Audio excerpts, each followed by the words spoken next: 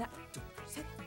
옛날에 어떤 마을에 무시무시한 괴물이 지나가는 사람들을 붙잡아 놓고 무지무지하게 어려운 퀴즈를 맞추라고 했지. 괴물 이름은 바로 스핑크스지 스핑크 스 핑크 스 핑크스. 진짜 만난다면 어떻게 할까? 스핑크 스 핑크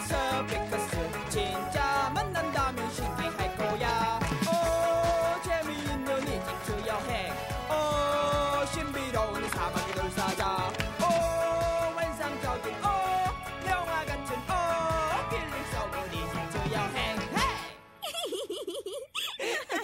재밌지 그치?